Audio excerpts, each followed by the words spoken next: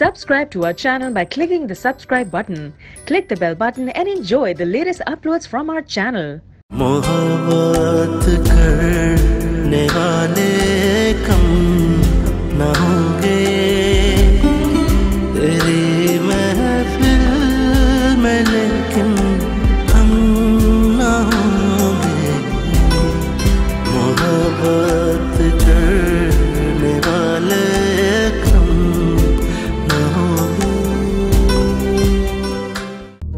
पता नहीं कब इतनी मोहब्बत हो गई इनसे। अब जब ये जाने वाली है।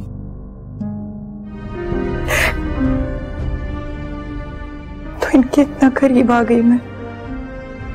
आपने कुछ नहीं दिया ना मुझे उसमें से? सब रुखी ताई को दे दिया। मेरी आँखों ने क्या क्या तमाशे देखे। हर चीज़ पे कब्जा कर लिया रुखी भाभी ने। मुझे तो इस बात की हैरत है कि मुझे किसी ने इन्फॉर्म नहीं किया और सारे बंटवारे हो रहे हैं। After all she is my मामी मैं जारा और नादिया दोनों के लिए इक्वली कंसर्न हूँ। आखिर वो भी इस घर की बच्चियाँ हैं। दादी के जेवर पर थोड़ा सा तो उनका भी हक है। इसलिए मैंने नादिया और जारा के लिए अंगूठिया रख ली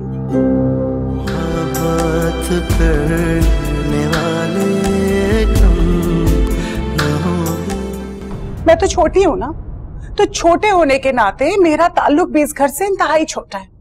मामूली सा इंतहाई मामूली सा। मेरी कोई अहमियत नहीं है इस घर में। अरे पोपी तुम क्यों इस कदर जज्बाती हो रही हो? मेरी हर बात को हर शिकायत को हमेशा यही कह के टाल दिया जाता है कि तुम जज्बाती हो रही हो। क्या मेरी हर बात हर प्रॉब्लम गलत है? कम ऑन पॉपी ऐसा नहीं है। ऐसा ही है। मम्मी ने भी हमेशा मुझे यही कहा। छोटी है इमेच्योर है इमोशनल है और जरा सी स्टूपिड है। हमेशा मैंने यही सुना है। खैर पॉपी जज्बाती तो तुम हो। मैं जज्बाती नहीं हूँ। मैं सिर्फ़ इतनी सी बात कर रही हूँ कि मुझे ही क्यों हमेशा इस घर के मामला से दूर रखा जाता है। मेरी माँ का जेवर है और मैं उनकी अकलौती बेटी हूँ। मुझे जेवर देना तो दूर की बात। मुझे किसी ने बताने की तौफीक तक नहीं की। खैर बताया तो मुझे भी कुछ नहीं गया। भाई कोई कानून का खजाना है जो आप लोग ये बातें कर रहे हैं? जुनेद भाई मेरी माँ का जेवर मेरे लिए खजाने से कम नहीं है। हाँ तो माँ तो वो हम सबकी है ना? जब ज़िम्मेदारी उठाने की बात आती है तो माँ सिर्फ़ मेरी हो जाती है। जुनेद भाई आप घर के बड़े हैं हम सब के बड़े भाई हैं और हमने हमेशा इस स्टेटस को बरकरार रखने की कोशिश की है। बड़ा बनना इतना आसान नहीं होता, जुबैर। तुम मुझे बताओ, तुम कितनी बार मम्मी डैडी के पास गए या उनके लिए कुछ किया? मैं हर रोज दो बार फ्लोरा से अपडेट लेता हूँ और डॉक्टर से बात करता हूँ और खादिम से भी। देखिए जुनेद भाई, आप घर के बड़े हैं। हमने हमेशा कोशिश की है कि आपके किसी मामले में इंटरफेयर ना करें, कोई भी मदाखलत ना करें। हमने आपका स्टेटस हमेशा बरकरार रखने की कोशिश की और जहाँ तक मामा का ताल्लुक है उन्होंने तो कभी मुझे ऑन ही नहीं किया। कभी उस तरह से मुझे अपना समझा ही नहीं है वो शफकत ही नहीं दी। उन्हें तो मेरा नाम तक याद नहीं है। जुबैर उनकी जहनी हालत ऐसी ही है। मेरा भी नाम ही याद है और कुछ याद नहीं उन्हें। ये तो मम्मी की जहनी हालत है ना जुनेद भाई? और हमारा क्या हाल है? आप तो अभी से अपनी छोटी बहन का ही नाम भूल गए। हरगिज ऐसा नहीं है पोपी। मैं तुम्हारे और कामरान के बीच में जो रंजिशें उन्हें दूर करने की कोशिश कर रहा हूँ। और ज़रूरत पड़ी तो मैं तुम्हारे खातिर कामरान से माफ़ी मांगने को भी तैयार हूँ। अच्छा क्यों? मैं बोझ बन गई हूँ आप लोगों पे। इसलिए? डोंट बी सिली पॉपी फिर वही जज्बाती बातें कर रही हो तुम। तो जज्बाती हूँ तो जज्बाती ही सही।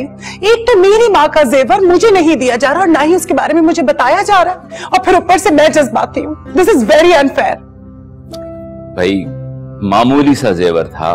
सब बच्चों को दे दिया गया है। हम्म ठीक है। मेरे बच्चे नहीं है।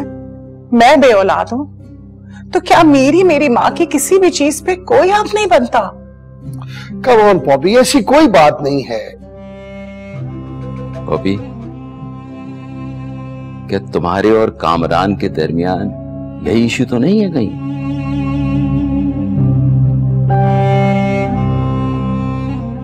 नीचे तो बड़ी जोरदार कॉन्फ्रेंस चल रही है भाई।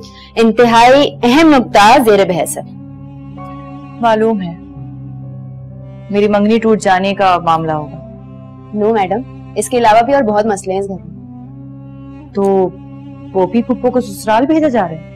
और भी बहुत प्रॉब्लम्स हैं ज़ारा इस प्रॉब्लम के अलावा। तो फिर आखिर मसला क्या है? दादी के जेवरात। गॉड मम्मा ने तो बहुत शोर मचा दिया होगा है ना? नहीं मम्मा ने सिर्फ़ बाबा को तपाया। बाकी शोर वो खुद मचा लेंगे। नादिया इन जेवरों में आखिर है क्या? जारा इतने एंटीक और ज़बरदस्त डिज़ाइन कहाँ मिलते हैं आजकल? और पता नहीं पोपी पप्पो ने भी वो खजाना किधर छुपा है। वही उसी लॉकर में। जहाँ उन्होंने कई किलो जेवर छुपा रखा है। ये जेवर भी वहीं दफना दिया होगा। वैसे जारा दादी ने मुझे तो कुछ भी नहीं दिया। मैं इतना कुछ करती हूँ उनके लिए। याद भी नहीं आई मैं उनको। उफ क्या लगती मैं वो जेवर पहन के। नादिया तुम दादी का ख्याल इससे रख रही हो ताकि वो तुम्हें जेवर दें? इस लालच में। तौबा अस्तगफिरुल्लाह जारा तुम मुझे ऐसा समझती हो? तुम्हें पता नहीं मेरे पास कितना जेवर है? मैं लालची हूँ क्या? और मेरे तीन तीन लॉकर जेवर से भरे पड़े हैं। हम्म अगर पोपी पुप्पो ने देख लिया ना तो तुम्हें पता चल जाएगा फिर। नहीं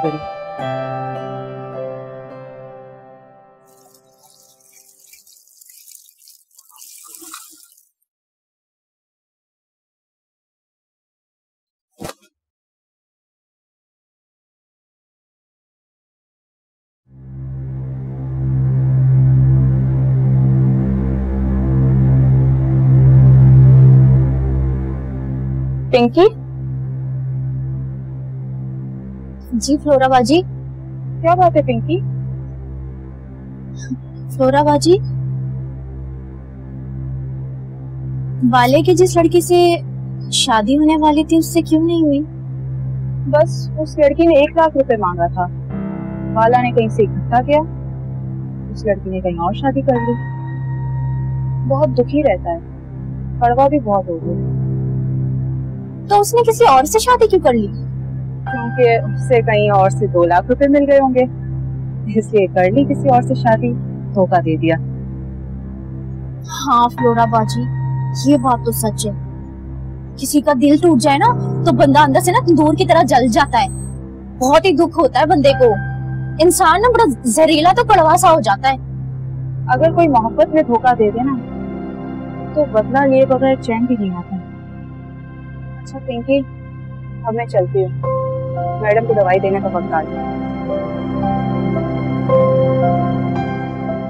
हाँ बदला तो वो ले ही रहा है मुझसे। चैन तो आ ही गया होगा।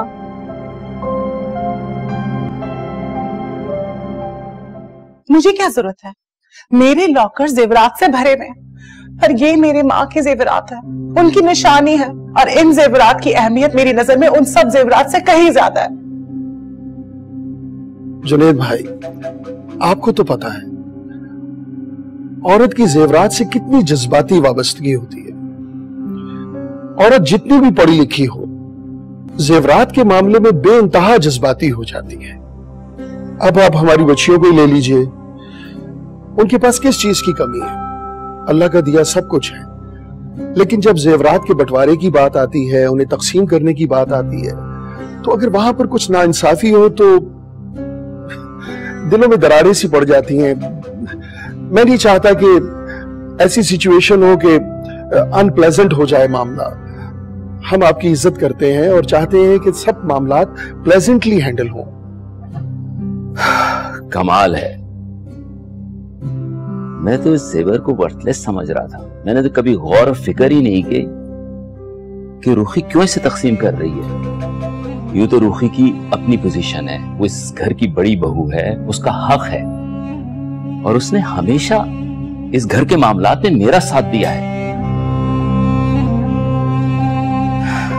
मगर बड़े ही कुर्बानी देते हैं, ताकि छोटे खुश हो जाएँ। मैं रूखी से कहूँगा, जो कुछ है तुम दोनों को दे दो। बांट लेना तुम लोग अपने दरमियान। अगर एक भाई को हिस्सा मिलेगा तो दूसरे को भी मिलना चाहिए। बराबरी की सतह पर होता है। हाँ तो फिर ऐसा करते हैं कि हम दोनों ही भाई दस्तबरदार हो जाते हैं जेवरात से ताकि तमाम जेवरात मामा के आपको मिल जाए।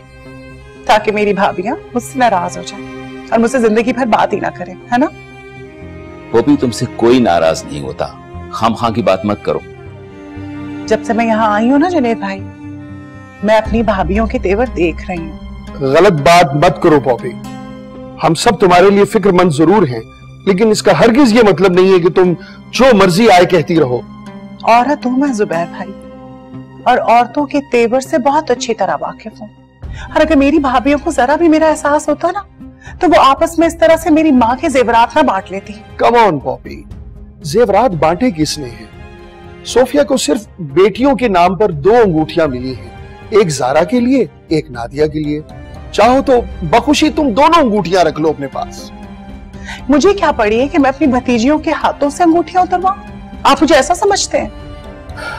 शुक्र है तुम्हें भतीजियों का तो ख्याल है। भतीजा तो खैर है उसकी।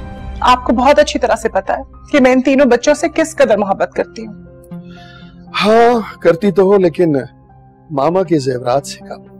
आप दोनों को मुबारक हो सारे सेवरात। मुझे कुछ भी नहीं चाहिए। और अगर मम्मी ने मुझे कुछ देना होता ना अपने हाथों से ही दे देती।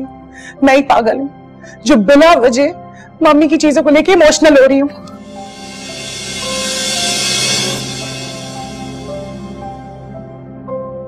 जुनेद भाई अगर रुखी भाभी इंसाफ से काम लेती ना बात कभी इतनी बढ़ती ही ना। जुबैर मियाँ रुखी जितनी इंसाफ पसंद है, कोई दूसरा हो नहीं सकता है। जुबैर की आँखें बहुत खूबसूरत हैं। मेरे बाबा की आँखें भी ऐसी ही थी। सवाल करती हुई, सोचती हुई आँखें। जुबैर का मिजाज भी अपने नाना जैसा है। खुशुकुरम, शरीफ बात बात पे मज़ाक खूबता है। उसके बाएँ हाथ पर भी वैसा ही तिल है जैसा उसके नाना के गोल। पूरे चाँद जैसे। आज जुबैर सात बरस का हो उसके नाना होते तो देखकर कितना खुश आज उन्हें इस दुनिया से गए हुए सात बरस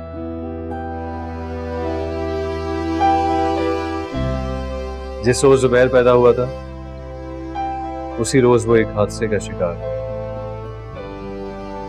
आज मैं बहुत उदास हूँ। मगर जुबैर की बर्थडे है। 1970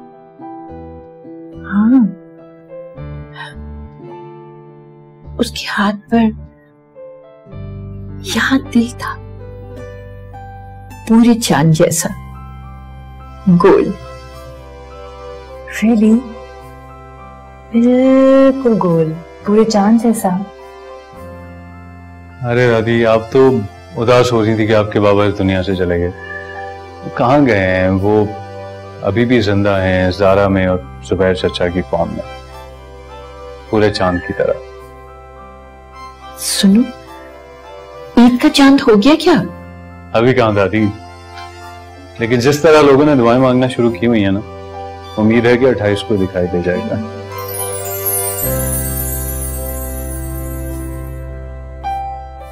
नौ जून। नौ जून को होती है जुबैर की बर्थडे।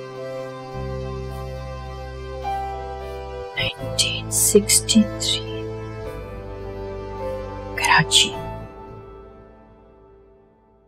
पापा की कार और फिर ट्रक के साथ टक्कर। ड्राइवर सो गया था। नो पाउंड्स और और यहाँ उसके हाथ पर दिल जुनेद तो सिर्फ़ पाँच साल का था। बहुत छोटा है जुनेद। अभी सिर्फ़ पाँच साल का है। लेकिन पाँच साल का हो गया है। बोलता ही नहीं। डॉक्टर को बुलाओ। फ्लोरा! फ्लोरा! देखो, जुनेद रो रहा है, उसको लेकर आओ। दादी जुनेद सो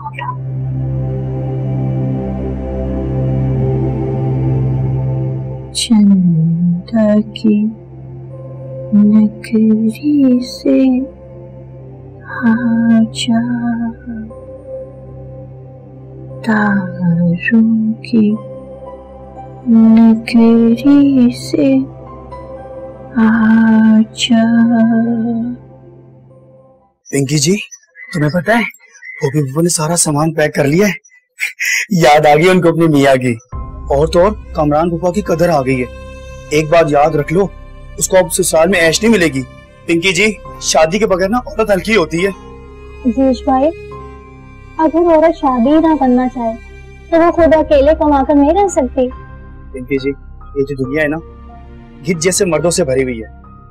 और ये नोच के खा जाते हैं। इसीलिए तो औरत ब्याह करती है और मर्द चौकीदार बन जाता है और उसका महफूज कर लेता है।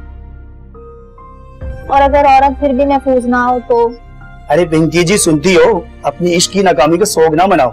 अरे शुक्र करो अपनी बेबे का जिससे तुम्हारा अक्रम दुबई वाले से रिश्ता नहीं तोड़ा। मेरी बात मानो तो उससे जाकर निकाह कर लो। और क्या पाकिस्तानी रुपए का क्या एतबार करना? इससे तो गिरते ही जाना है। जब अपने पर ही एतबार ना हो तो बंदा बाहर वाले पे क्या खाक एतबार करेगा? यही प्रॉब्लम है तुम लड़कियों का। सच्ची मुची मोहब्बत कर बैठती हो। वो देखो ना तुम्हारा बाला किसी न किसी से निगाहें मिला रहा होगा। हाँ। चले जाओ दीज भाई यहाँ से। चले जाओ। सभी मेरे ही खून सुखाते रहते हैं। बाला।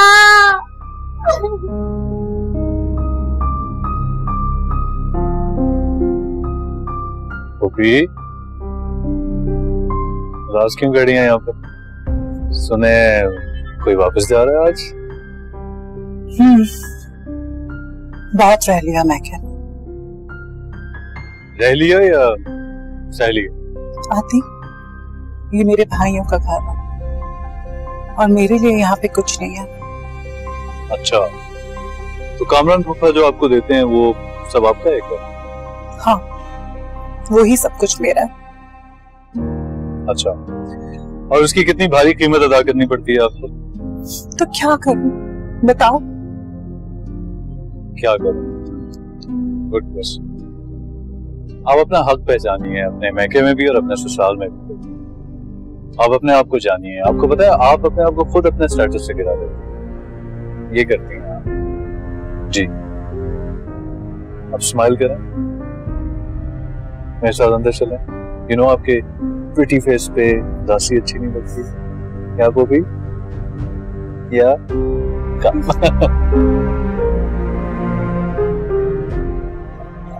नादिया फिर गायब है। बैठी होगी अपने कमरे में बर्गर खा रही होगी। एक बात नहीं सुनती ये लड़की। जारा तुम इसकी बड़ी बहन हो बेटा इसको समझाया करो। बादब्बा मुलाइजा होशियार देखें देखें कौन आ रहा है। We have the royalty gracing us with their presence. Yeah. दादा दादी हैप्पी बर्थडे जुबी मॉम आपने मुझे जूबी कहा? हाँ। Do you remember my name yes मुझे यकीन नहीं आ रहा। I can't believe, I can't believe it. सारा तुमने सुना? मामा ने मुझे जूबी कहा। भाभी आपने सुना? Sophia thank you mom thank you very much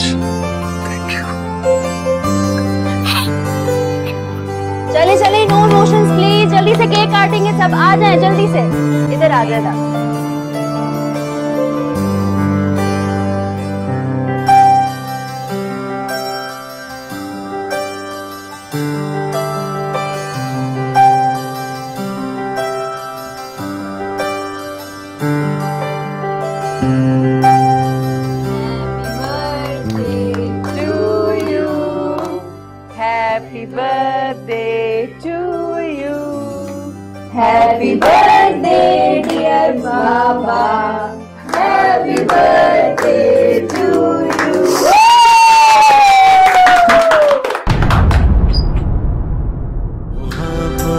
करने वाले कम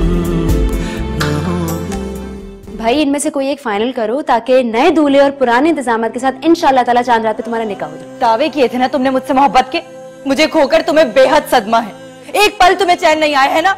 मेरे होते हुए कोई तुम पे अपना फैसला साबित नहीं कर सकता। मैं इंसान प्लीज़ मुझ पे तर्ज खाओ। मेरा तमाशा मत बनाओ। और मुझे माफ़ कर दो। बात करने वाले